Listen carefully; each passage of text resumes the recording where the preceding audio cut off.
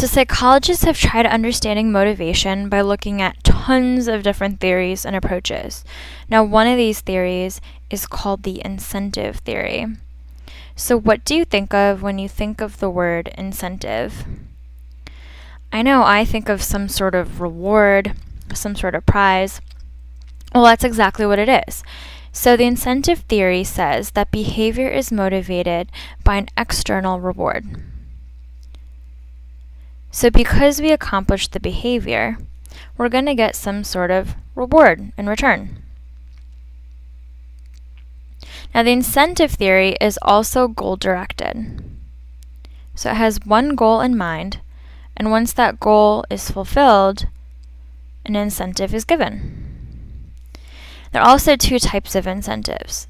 There's positive incentives and there are negative incentives. So incentives are things that we're motivated to work for. So that could mean money or an award for doing something good. But don't confuse incentives with reinforcements. So reinforcements can involve a reward or incentive, but incentives are tangible, like I said, money. Reinforcements, on the other hand, are events or conditions that will increase the likelihood that a given response will occur.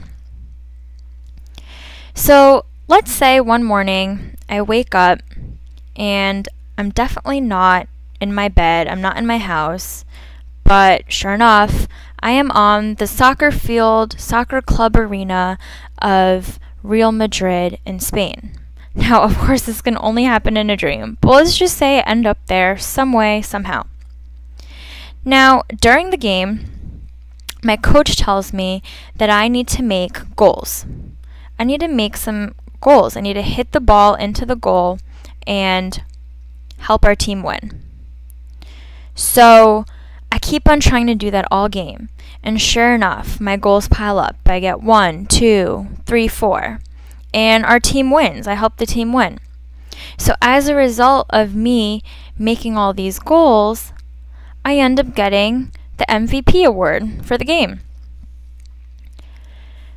So this behavior of making goals and playing the game really well was motivated by the MVP award that I would get in the end. So this is called a positive incentive or a reward.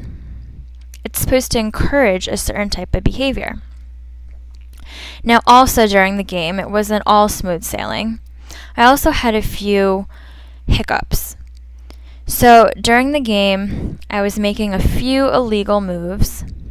I was doing some headbutts. I was offsides. So as a result of that, the referees had to give me a few flags. They had to give me a yellow flag, and they had to give our team a red flag, and those are never good. Nothing my coach ever wants to see.